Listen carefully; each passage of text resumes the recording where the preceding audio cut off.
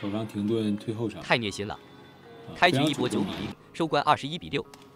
面对这位印度挑战赛、伊朗挑战赛双料冠军印度新星坦尼亚·戴资颖，还是无情的收割比赛，甚至是连汗都没出，全场就仅花了二十四分钟连续推身后，就送他回家去。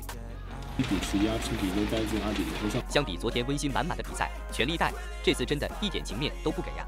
其实比赛一开始，对方并没有感到太窒息的压力，戴资颖后场的正手进攻失误，特别是开局习惯性找节奏的戴资颖主动的失误分，让比赛来了个三比三的平手开局。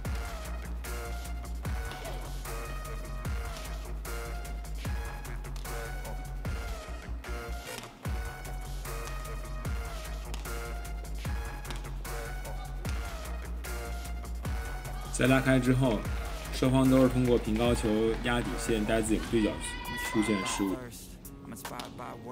坦尼亚说不定还暗暗窃喜呢，甚至自己说不定还能爆个冷。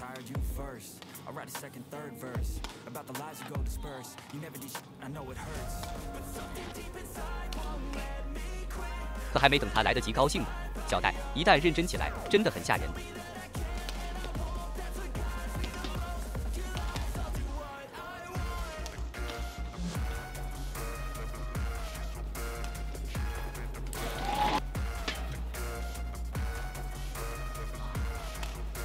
各种极限神仙球，瞬间就让全场沸腾。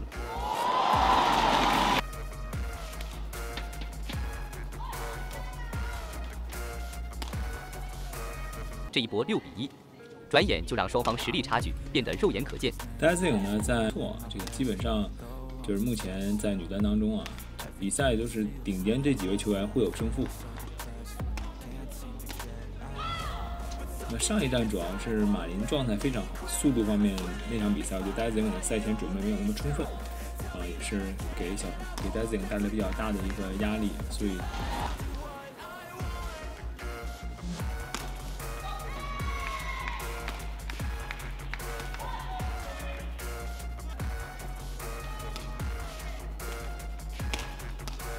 但作为东道主，他还是要客气客气，然后就连送俩十五分。接发球收到对角，两边拉开，这才收走比分，进入间歇休息。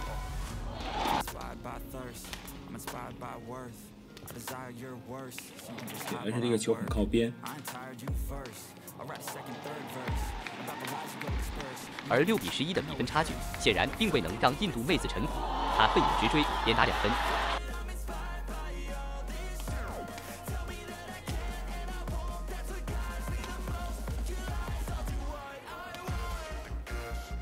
瞬间又激发起小戴的斗志。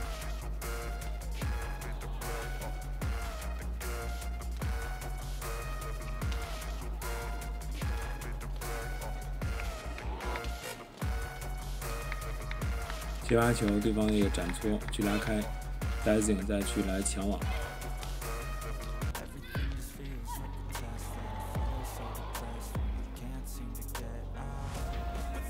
竞争没那么大，也是登顶的一个很好的机会。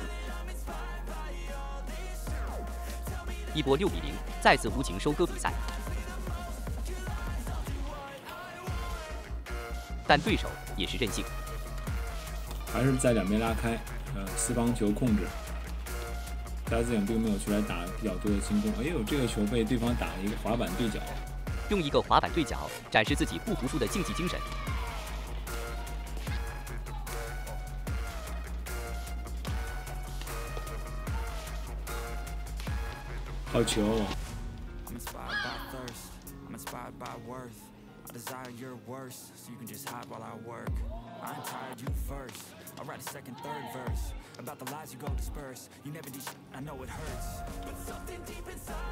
Let me quit. 对手这么给力，小戴又开始拿出全力，同时一再挑战自己对底线的掌控力，最终用二十一比十一的比分终结了第一局。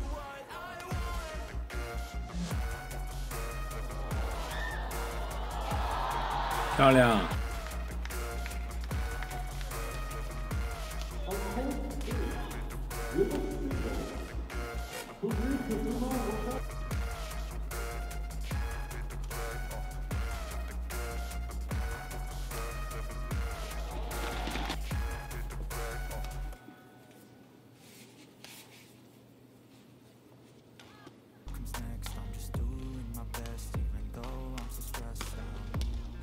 进入次局后，全力带，一上来就展现自己的超强战斗力，不断用高质量的进攻给对手压力。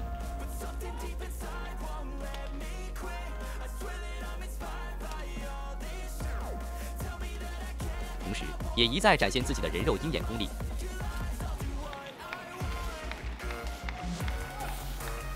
中国台北公开赛呢是超级三百的这个赛事级别相对来讲比较低，去来打下五百的比赛。七百五因为是这种强制参赛的，所以所有的有资资格的选手都会参加。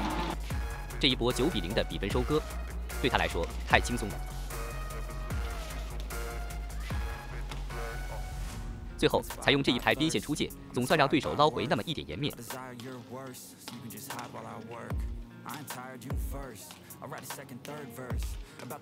当然，坦尼亚这极限的边线球也同样证明自己不是完全没有还手余地。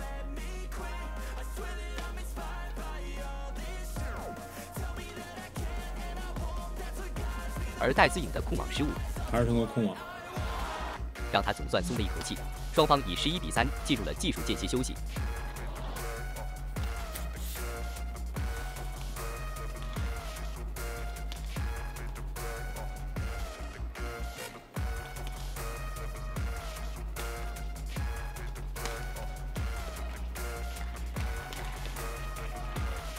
连续压后场，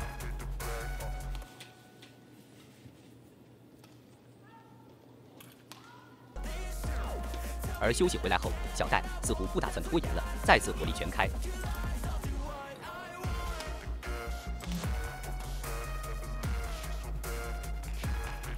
上来就又轰出一波五比零，瞬间就让比分来到了十六比三了。然后采用这极限对角的一出界球，让对手不至于怀疑人生。对角，在两边给两边收掉。好球啊。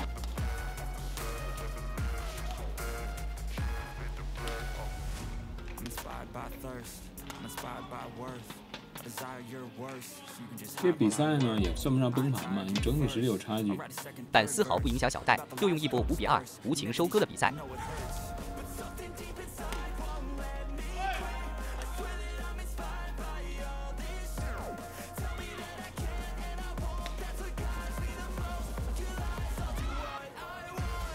结合重复给后场，反拍再过渡对角，首方停顿推后场，啊，非常主动嘛。